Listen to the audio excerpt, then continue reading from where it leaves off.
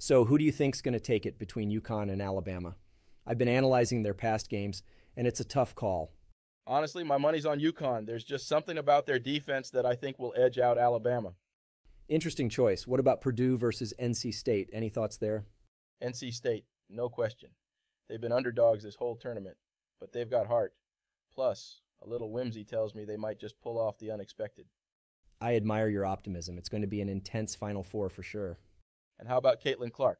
Her performance has been nothing short of amazing. Scoring, assists, you name it. Absolutely.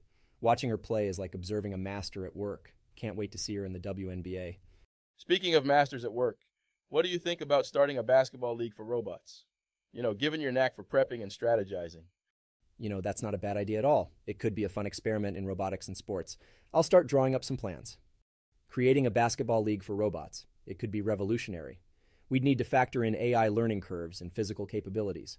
Back to the NCAA, though, if UConn's defense can shut down Alabama's offense, it's game over for Alabama.